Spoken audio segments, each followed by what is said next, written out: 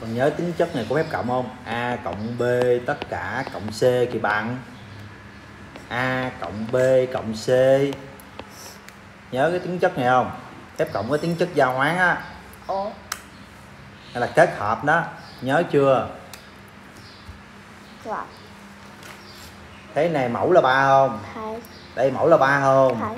Vậy sẽ bằng viết lại hết tất cả các phân số đó sau đó đổi cái mặt vô.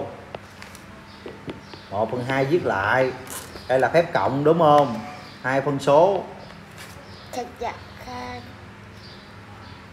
khác chỗ nào cũng cùng mẫu. Ta lấy tử cộng tử đi. 1 cộng 3 phần. Viết lại mẫu. Bằng.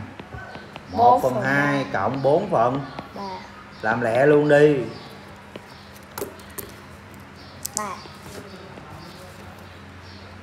Pháp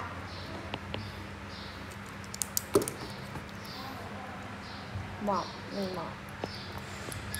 Sáu. Có kẹp không?